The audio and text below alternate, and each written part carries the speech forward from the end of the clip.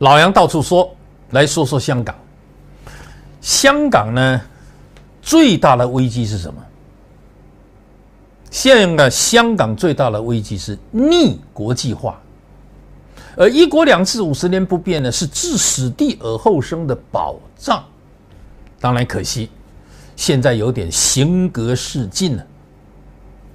为什么有这个话题的诱头呢？最近呢，美国制裁了这个。北京的涉港高官呢，还有林郑月娥怎么等等呢？且不论夏宝龙、骆惠玲等人会不会因为这样呢带来诸多的不便，看起来不会，他们也没什么到美国去的欲望。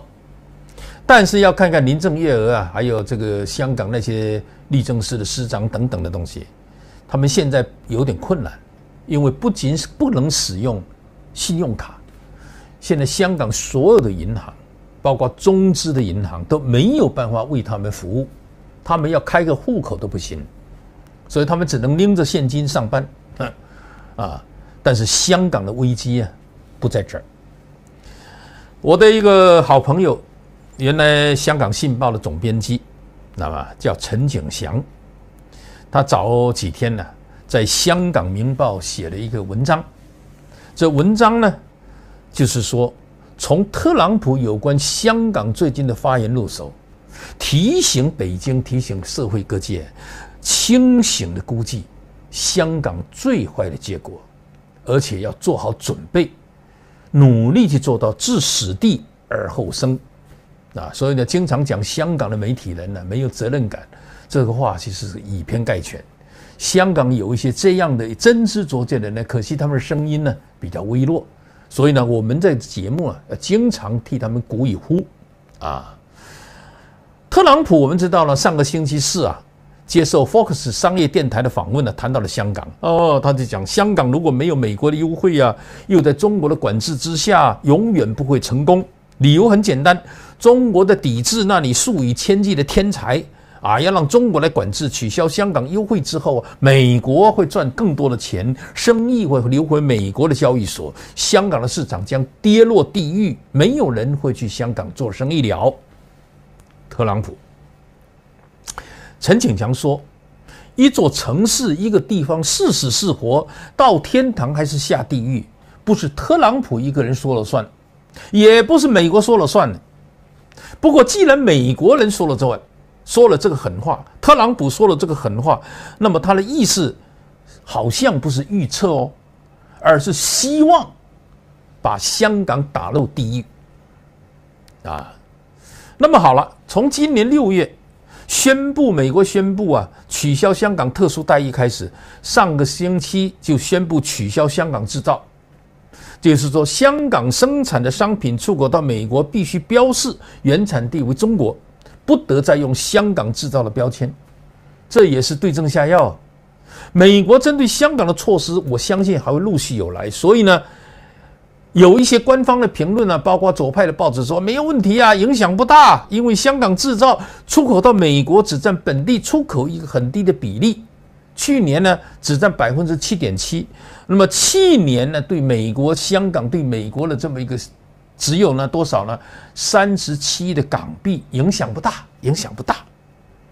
当然，作为特区政府也罢，爱国爱港阵营的说法也罢，是有意在淡化问题的严重性，是给大家派定心丸。现在美国正在逐步的取消给香港的优惠，可能马上造成的冲击是有限，但长期对香港是很不利的。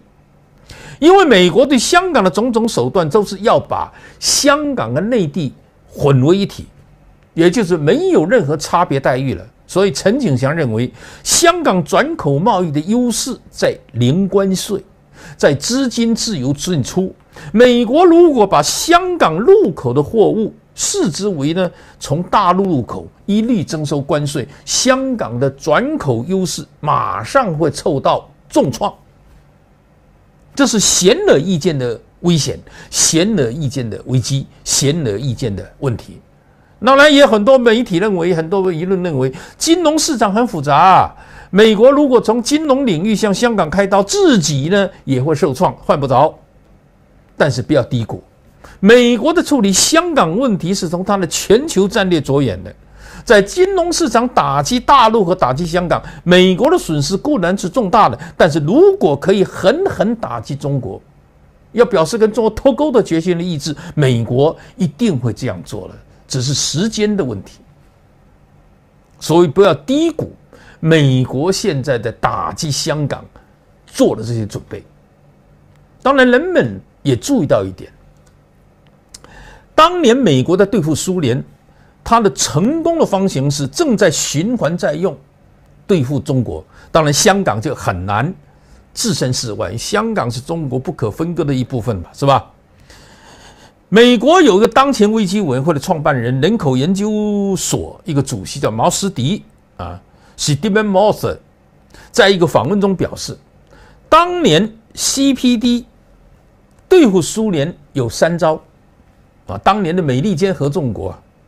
对付苏联有三招：第一，切断技术；第二，切断资金流入；第三，在规模范围内逼苏联参与一场他没有办法承受的军备竞赛，把他压垮。这一套把苏联促使苏联解体的方程式，现在也在对付中国。我们都知道，以前也在节目中介绍过。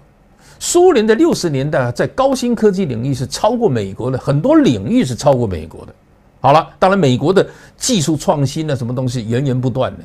第一，切断技术，现在正在进行，是吧？第二，切断资金的流入，其实香港现在被这样的处理就是一个开始。第三，在规模范围内。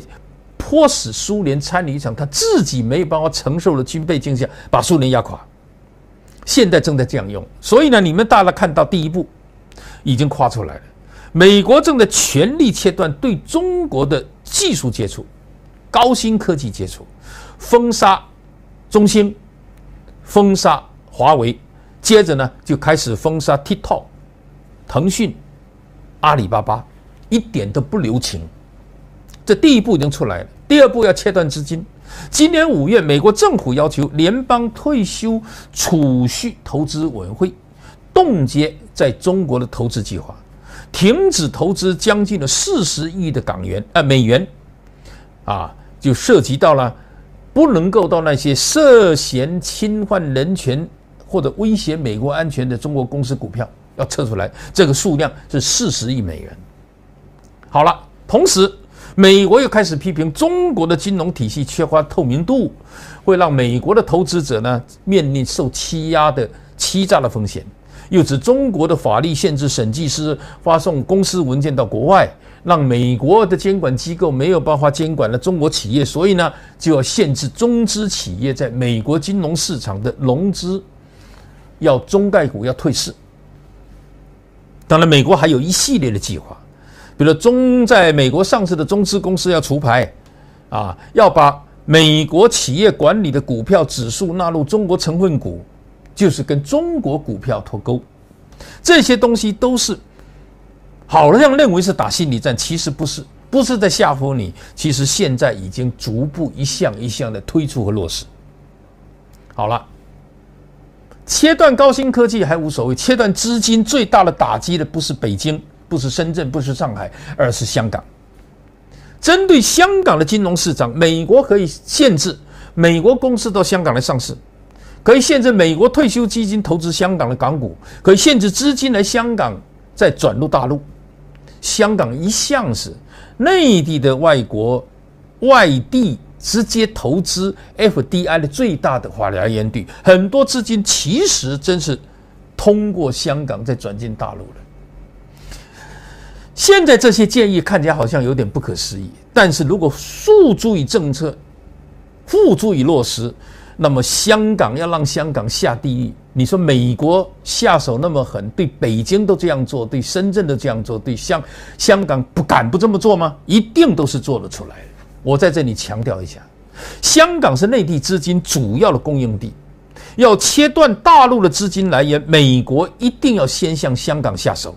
香港的财经官员们、特区官员们包括北京的处理香港事务的官员们，千万不要把美国这些有言在先的阳谋，只是视之为空洞的恐吓。那么第三步，这第三步就是要把中国卷入一个规模范围没法承受的军备竞赛。好了，我们想一想当年的历史，当年美苏冷战，美国的里根时代的军备竞赛提的发展星球大战，嚯，苏联呢？跟着就全力追赶，结果是很快就掏空了苏联的国力，掏空了苏联的财力。很多人都认为苏联的解体跟这一块也有关系。好了，现在中美之间有没有这个竞赛呢？我们看到过去的二十年，中国在扩张自己的军力，好像在扩张的同时，也没有对整个中国的经济发展造成很多的障碍。中国的登月计划、探探索火星的计划，好像也没有，至少在目前表面上看，没有拖慢大陆经济发展的步伐。可见，中国跟苏联现在有一个最大的分别，是中国并不是像苏联那样，像西方资本主义国家落入铁幕，至少没有主动的落入铁幕。苏联集团当年自成一体。是吧？苏东集团京沪会经济活动在高度的中央指令之下，只是跟东欧集团跟自己的卫星国互通有无，生产力跟西方的差距很显然就越来越大。苏联缺什么？苏联缺一个像香港这样的对外的窗口。冷战时期的香港。尽管西方对中国进行各种各样的封锁，但是有一个这样一个通往西方的这么一个通路，香港呢就可以不断的输入西方的资金、西方的技术、西方的管理，而香港正是在中国大陆改革开放以后扮演了这个重要的窗口角色，使得中国的改革开放有序的进行，使得中国可以通过香港。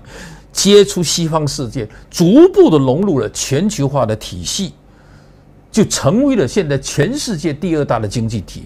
别以为香港只是给祖国大陆添乱，其实在香港的这方面的功能角色啊是非常非常重要的。啊，也因为有了香港，也因为中国有四十年的改革开放，有一个强大的经济实力，美国很难。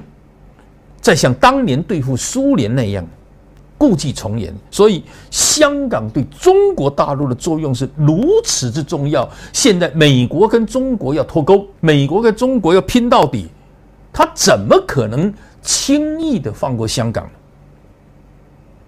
我认为这个分析有道理。陈景祥说，香港最大的担忧是什么？说最大的隐忧是什么？就是这四个字：逆国际化。啊，特朗普说要取消香港优惠，美国会挣更多的钱，但香港对美国的作用其实远远超过赚钱。啊，明智一点的美国领导人，明智一点的美国企业家是意识到这一点。对中国来说，香港不光是为国家贡献多少 GDP 的百分点，香港最大的优势始终是。香港这座城市的国际化，它能够随时接通世界各地，它是个自由港，它免税，资金可以进入进出，它是中国这个土地上唯一的实施普通话一个法治的城市。现在令人担心的是，还不是美国的制裁，而是香港现在逐步的跟国际社会也在脱钩。这些脱钩有人为的，有政策因素，还有其他的因素。长远的来说，香港的内地化，香港的逆国际化，这是香港这个城市应该的最大的引流。所以，逆国际化、内地化、一国两制五十年不变的政治承诺，逐渐走形走样了。逐渐变形了，这才是香港最大最大的隐忧。好了，各位看官，这个显而易见的隐忧，其实已经浮现在我们的面前。好了，这样的一个隐忧，能不能有切实可行的解决方案呢？